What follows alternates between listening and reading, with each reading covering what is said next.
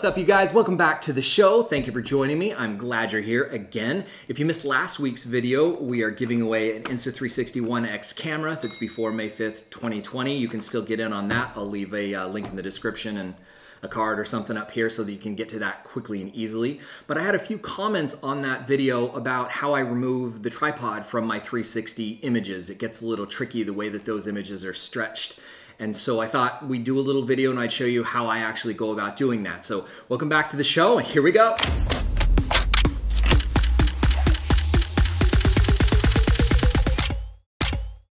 All right, for a little context, let's just look at what's happening here. So I have my Insta360 camera. It's on the Insta360 um, selfie stick, which extends about a, a yard and a half meter, about a meter. And then I've got the uh, this little Manfrotto tripod that I use if I'm shooting indoors or even outdoors if it's not windy at all. You have to be very careful because these things really like to tip over and those lenses will definitely get scratched if this thing falls down. So this isn't a great tripod for everything, but for interiors and being very careful outside, it, it does the job. Now, when we shoot with the Insta360, with the uh, selfie stick, the camera is built to make that selfie stick disappear. In other words, each side of this camera is capturing a little more than 180 degrees, and then the software is actually just stitching to remove the stick, which is amazing. If you're holding it in your hand, you can't really see it at all. But if we put it on the tripod, these extend out so far that you see the little tripod in the bottom of the in the bottom of the picture. And if you remember in some of the images from the last video, I hadn't taken those out. And so you can see the little tripod at the bottom of the frame. So what we're gonna do today is take those awkward files that come out of the camera and I'm gonna show you how to turn them into something we can work with, fix the problem, put them back to the way they were and save them out to files that we can use for YouTube, for videos, for uh, VR headset, anything that you plan to use through 360 Photos for. So yeah, let's uh, let's jump into the computer and uh, and I'll show you how we do this. So obviously we need some files. I have grabbed a few from my 360 folder here. I'm just gonna drag those right into the Insta360 Studio here where we can see that they come up on the left-hand side here, just like you'd expect. We've got the first one open. This is that hotel room from Austria, and you can see down here on the floor that we do indeed have a little tripod. If you can see that on the video, I'm not sure, but you'll see it in a minute. The second image is this one taken actually from the top of the car using the suction cup from the last video. The third is an HDR image. It's, it's made of three images that the camera took and it's merging those for me here in uh, the Insta360 Studio. And so that is the one of me sitting there at that mountain hut. And then the last one is another interior shot of a condo here in California. And in this one, I actually used a dinner plate as my uh, as my tripod and the suction cup mount, which worked great and slid along the carpet beautifully and made it super easy to do this virtual tour. So those are our images that we're going to be using for this tutorial. Let's go back to the first one. These first two standard files, what I want to do is just click stitching calibration on these. And what that does is it just resets everything, makes sure that if it didn't come out perfect from the camera the way it's stitched, that we give it one more best chance to, to get the best stitch possible. So for each of these, I can just go export. It'll pull up the export dialog. I'm exporting the type as a photo. I know where it's going, so I'll just let that run. And then we'll go back here and do the same thing with the second one. And the HDRs are a little bit different. I'll show you what that dialog looks like. So instead of photo here, you see it says HDR photo. And it's actually gonna do all the exposures if we want. We don't need all of them, so I'm just going to uncheck that and click OK. I'm gonna do the same thing here. Don't need all of them. Okay.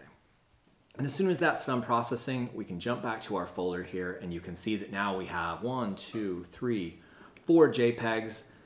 Two of these will end in the word merged, so we know that there are HDR versions. I'm just gonna take all of those and drag them right into Photoshop and we'll just open them all at the same time and then we'll work with them one at a time.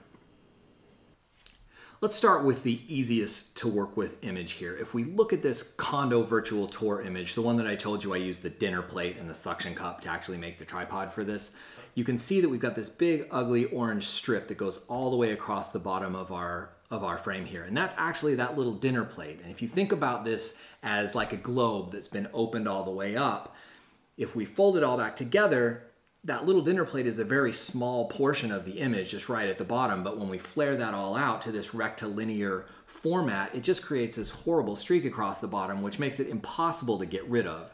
And if you look at the carpet here, I'll just zoom in so you can see. You can see how this the lines in the carpet get very wonky because this is all circular really. Um, it's it's it's flaring in ways that you could never clone or patch or content aware fill in a way that would be convincing in the end result. So we need a way to remedy this. And while we're remedying it, I think we ought to record an action so that we can have this ready for us anytime we want to come back and make more of these fixes. So let's go ahead and jump into the actions panels first. I'm going to create a new folder. We'll call it 360 fixes. And then I'm going to start a new action, and I'll call this Insta, come on, 360 1X tripod. T-R-I-B-O-T, jeez. Removal. And click record. All right. So now everything that we do is going to be recorded into this action and we can play it back later but we're gonna want to add a couple of other things. So I'll walk you through this step by step. So the first thing I wanna do is actually duplicate this layer. So I'm just gonna Command J keyboard shortcut to duplicate that layer. And then I want to turn this thing on its head, 180 degrees. And the reason for that is that the filter that I'm gonna use next actually will wrap the entire image around the pole across around that, but it only does the north pole. Think of it like that. So if I had, if I have the uh, tripod at the south pole, this isn't gonna work. That's why we had to flip it around. So now that we're flipped, we can go to filter, distort, polar coordinates, and that's gonna do that wrapping effect. And we want to choose rectangular to polar. Click OK. And now you can see if I zoom in, there's our dinner plate, there's the carpet, everything looks normal. Now I want to stop my recording right now so that nothing I do from here on out while I do this fix is in the recording because we don't want it to do it all by itself in the future. So I'm going to go ahead and go up to these little menu up here and choose insert stop. I'll just put clone away, dude. Okay. All right, so now we've inserted our stop. We actually want also have to stop the action. So I'm stopping the action now. It's not recording anything again, but we're still inside that action. So when I push record again, we're gonna just take off like nothing ever happened. So I'm just gonna grab my lasso tool here and because this is such a basic situation, we can just select it, shift delete, use the content aware fill, just click OK. There we go. Now we might have a touch of a shadow right here, so we'll do the same up there. And if we zoom back out, you can't see that tripod at all because it's gone. all right, so now that we've done our cloning work, we need to start our recording up again. So I'm just going to hit the record button again. Then we're going to go back up to our filter menu, back to distort polar coordinates, and we're going to select the other option, polar to rectangular, to unwrap this whole mess. So we'll click OK and zoom back out. Obviously, we're still upside down, so image, image rotation, 180 degrees, and then we're going to stop our action. And there we have it. You can see the before and the after there. We've removed that tripod, no problem. Now I will say one thing in regards to this. This technique really only works if the tripod was either at the bottom of the image or at the top of the image. If we get, see if you're holding it straight out from you or you've got it sticking straight off of something, something like that where the where the actual bottom of the camera is at another angle because it's doing horizon correction, it's gonna make it a little tricky to, to do this in those instances. Obviously, if you're having it hanging from a ceiling or something like that, you wouldn't even need to flip it over.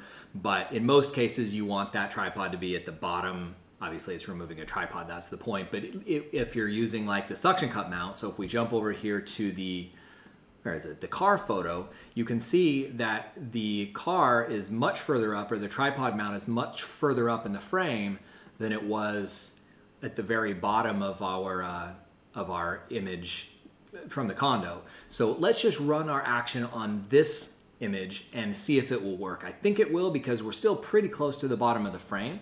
So I'm going to go to my actions panel. I'm going to select the action I just recorded and press play. It's gonna flip it. It's gonna give me the uh, message, clone away, dude. All right, so we're going to zoom into the middle of the frame again.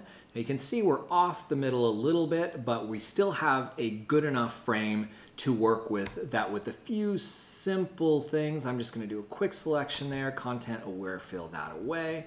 Then I'm going to grab the clone stamp tool, just gonna sample over here and then use that preview to line it up against the, uh, against the crack there so we don't lose the crack. And then I'm gonna go do the same thing at the top, get a little further away. And then I can just grab my lasso and content fill that back out again. All right, that looks good. Now we'll just play the rest of our action. Zoom out, and there we go. Before and after, before, let's zoom in a little bit. There we go. And after. So that works perfectly, even though it wasn't exactly at the bottom of the frame. It was off a little bit of, a, of an angle, but I tried to keep it fairly straight up and down. Let's jump over to this guy right here because this is another one that has a very horrible. This is using that little tripod that I showed you at the beginning here. So let's just run our action. Awesome. Zoom in. There's our tripod. And this one we'll probably want to do a combination of things, but let's just start and see if it'll do it on its own. Let's create our little selection here. Content aware, fill that away. Obviously we've messed up some cracks, so we'll just grab our clone stamp tool here.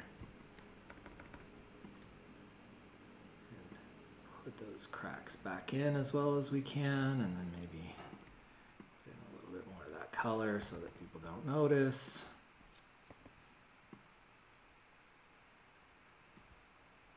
Good enough. Nobody's going to notice that anyway.